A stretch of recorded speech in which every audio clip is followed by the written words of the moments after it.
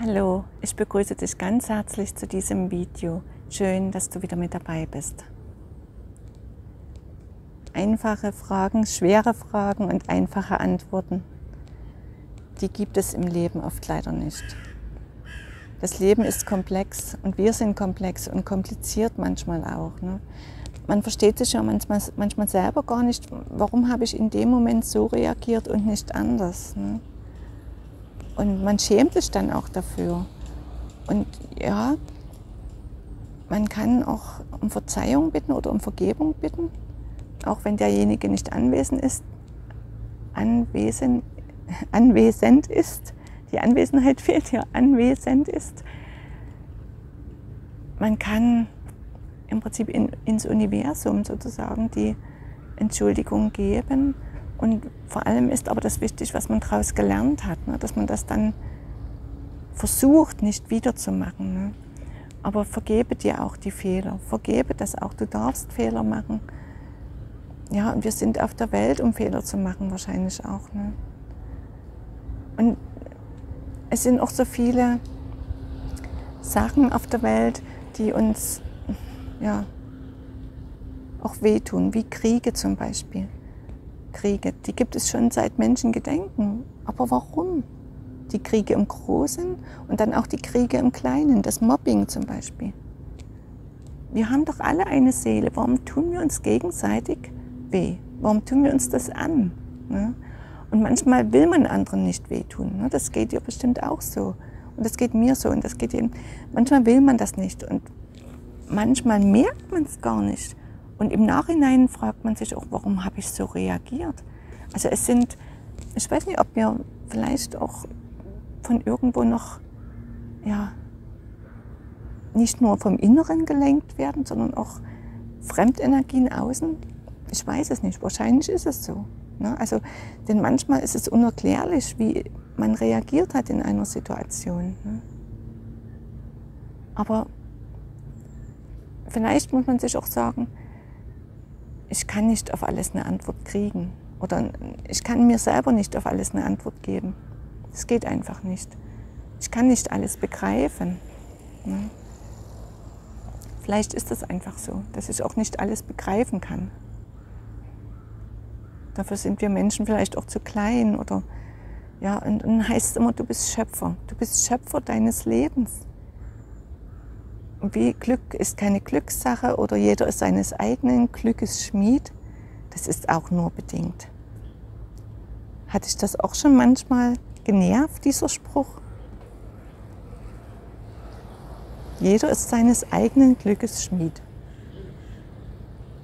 Ja, das, ist, das ist nur bedingt so. Also das, ja, ich denke mal, das, wir leben ja nicht auf einer Insel, wo man ganz alleine alles bestimmen könnte und selbst da ähm, ist man auch von Wetter abhängig zum Beispiel oder von irgendwas. Also auf einer einsamen Insel. Ne? Also das ist, man hat immer Menschen um sich herum, Kommunikation und ja.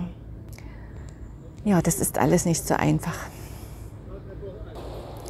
Und es gibt ja viele, viele Ratschläge und viele Bücher kann man lesen und und trotzdem steht man sich immer wieder, oder manchmal steht man wieder am Ausgangspunkt und weiß nicht weiter.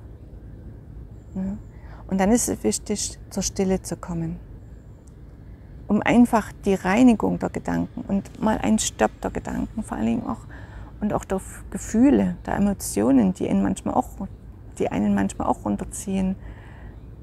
Auch das, hm, dass man einfach absolute Stille und nur zum Beobachter wird. Und da ist Natur sehr hilfreich. Geh in die Natur, aber manchmal ja, kann man das auch nicht genießen richtig. Ne? Wenn man in so einem ganz tiefen Tal drin ist, kann man das auch nicht immer genießen. Ne? Umgang mit komplizierten Menschen, mit Verständnislosen. Sei einfach du selbst.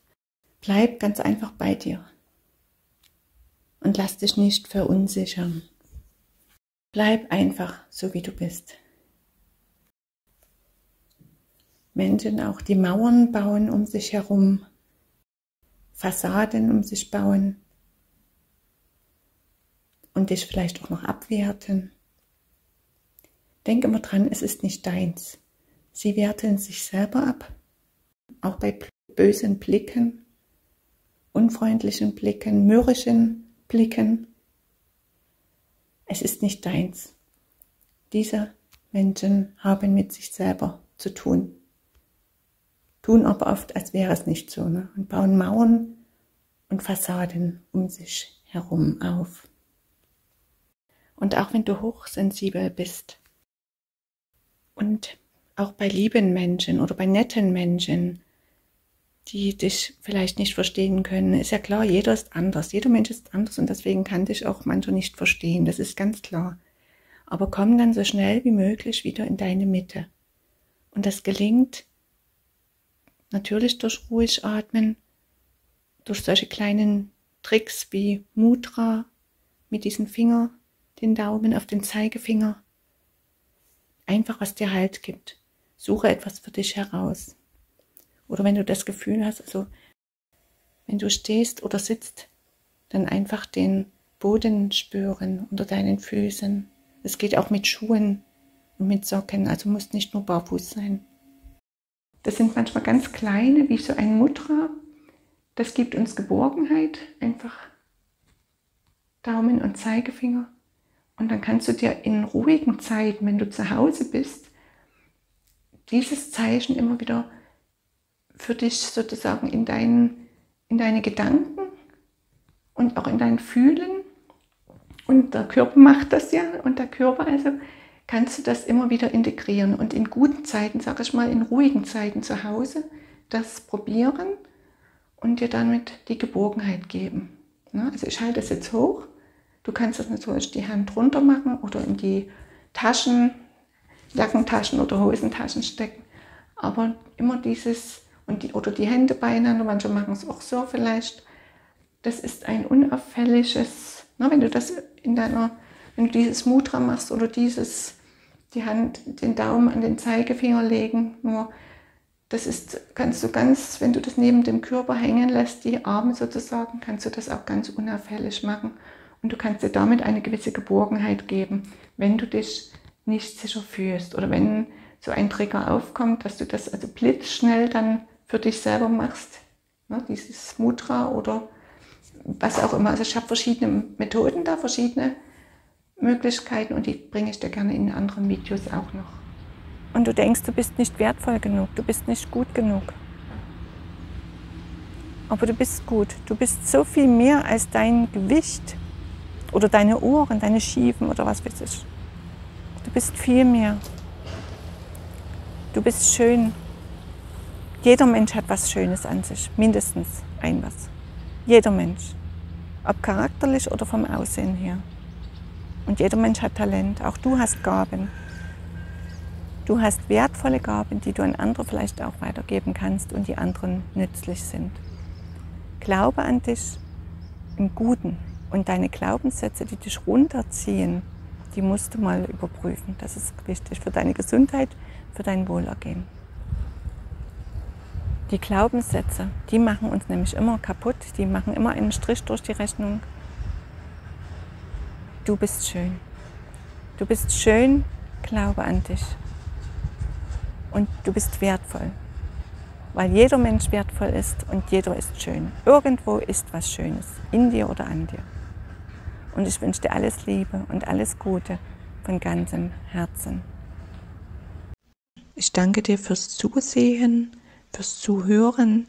Alles Liebe für dich und alles Gute für dich. Und bis zum nächsten Mal.